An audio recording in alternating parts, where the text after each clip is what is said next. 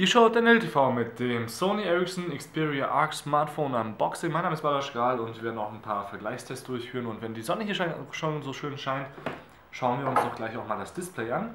Ähm, zur Verpackung zuerst einmal, wie ihr sehen könnt, wir haben wieder mal Sony Ericsson typisch die Bravia Engine hier bei diesem Android-Gerät mit eingebaut. Wir haben Standard Kopfhöreranschluss 4,2 Zoll Display und wir können alle möglichen Formate abspielen. Wir haben eine HD-Kamera mit eingebaut und hier ist das Gerät auch schon selber. Das schauen wir uns auch gleich genauer an, aber zuerst schauen wir uns an, was wir noch in der Box kriegen. Ein ungefähr 1 Meter langes Micro-USB-Kabel haben wir noch dabei. Dann einen schönen Kopfhörer äh, mit äh, Mikrofon noch eingebaut in ihr Kopfhörer.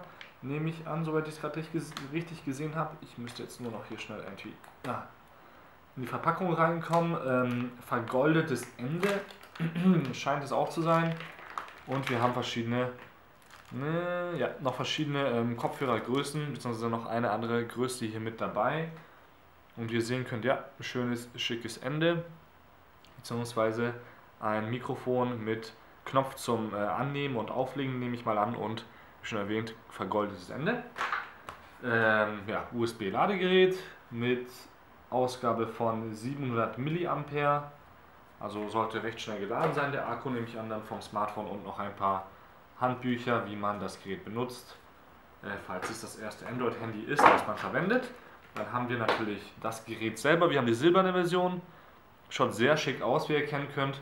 Plastikoberfläche zwar, aber man sieht die Fingerabdrücke fast gar nicht. Wir haben hier unten einen Lautsprecher eingebaut, eine HD-Kamera mit Blitz. Wir haben ähm, hier ein Micro-USB-Anschluss müsste das sein, nehme ich an, schaut ein bisschen interessant aus. Lautstärkeregler recht dünn geraten. Ähm, einen dedizierten, dedizierten ähm, Kameraknopf. An der Unterseite natürlich das Mikrofon. Ähm, hier ist eine Schlaufe, damit man sich zum Hals hängen kann. Und Kopfhöreranschluss ist seitlich bei diesem Smartphone. An der Front, wir haben Hardware-Knöpfe für Android. Ähm, hier oben ist keine Kamera drin, sondern ich nehme an, ein Lichtsensor. Und die, das Display geht wirklich von Rand zu Rand, wirklich sehr schick. Wir haben aber trotzdem hier eine kleine Kuhle, wo sich wahrscheinlich nach einer Zeit Staub ansammeln könnte.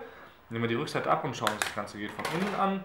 Der Akku ist hier schon drin bei diesem Testgerät. Wir haben hier einen 1500 mAh Akku drin, der äh, 5,6 Wattstunden hat. Und eine MicroSD-Karte schon mit dabei, 8 GB auch hier gleich drin und die SIM-Karte seht ihr auch, müsste gleich hier hinkommen. Und hier ist sogar noch ein zweites Mikrofon dabei, steht hier. Interessant. Wahrscheinlich für Confer Conference Calls, deswegen auch hier das kleine Loch, falls man es einfach auf den Tisch legt und dann mehrere Leute mitreden sollen.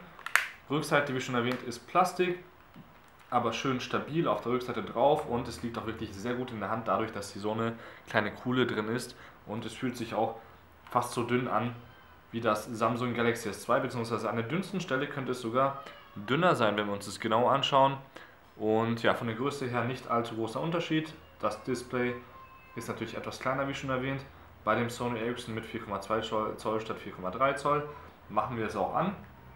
Die Oberseite habe ich euch gar nicht gezeigt, denn hier ist noch ein Micro-HDMI-Ausgang mit dabei. Also ihr könnt es auch gleich direkt an euren Fernseher anschließen mit einem Standard in Anführungszeichen Standardkabel, Micro-HDMI-Kabel sind auch schwer zu kaufen.